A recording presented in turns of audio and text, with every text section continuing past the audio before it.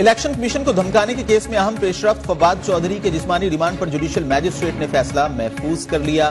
कुछ देर बाद सुनाया जाएगा। पीटीआई रहनुमा को काली चादर डालकर लाया गया। अदालत ने फवाद चौधरी का मुँह कपड़े से ढांपने से रोक दिया।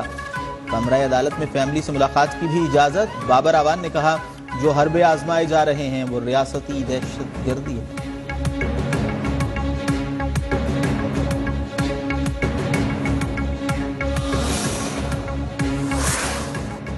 मुँह पर कपड़ा डालकर लाया गया। मेरी तजहीक करके ये समझ रहे थे कि पता नहीं क्या कर लेंगे। ताकतवर लोग समझते हैं, इन पर तनकीद करना रियासत से गद्दारी है।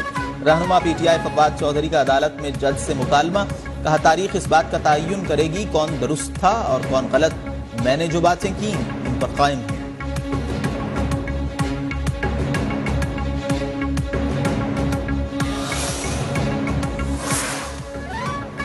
शौहर के मुँह पर फिर कपड़ा डाला गया, बख्तर बंद गाड़ी भेजी गई जैसे वो दहशत गर्द है। किस तरह लाया गया सबके सामने है। फवाद चौधरी की अहलिया हिबा फवाद भी फट पड़ी। कहा, पंजाब हुकूमत के रवैये की मजम्मत करती हूँ, फवाद चौधरी को छुड़वा कर रहूँगी।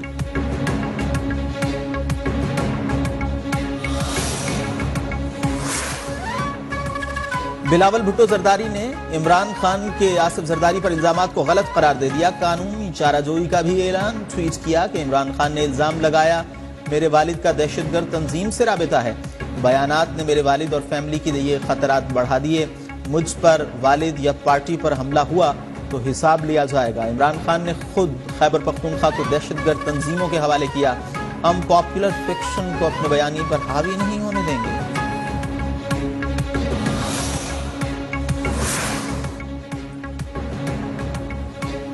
इमरान खान का आसिफ जरदारी पर दहशत गर्दों को पैसे देने का घिनौना इल्ज़ाम काबिल मजम्मत है। सुप्रीम कोर्ट नोटिस ले, इमरान खान अगर सबूत नहीं देते तो कार्रवाई होनी चाहिए। कमर जमान कायरा का मुतालबा, फरहतुल्ला बाबर बोले, इमरान खान के इल्ज़ाम का सिलसिला पुराना है। नैयर बुखारी ने कहा, इमरान खान को आज लीगल नोटिस जारी कर देंगे।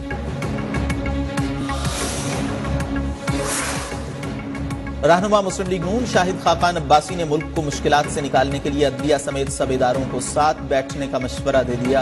कहा, सियासी निज़ाम की नाकामियाँ ढकी छुपी नहीं है। मुल्क के जो हालात हैं, कोई भी इससे बरी जिम्मा नहीं। मीशत की बहाली के लिए सबको एक होना होगा।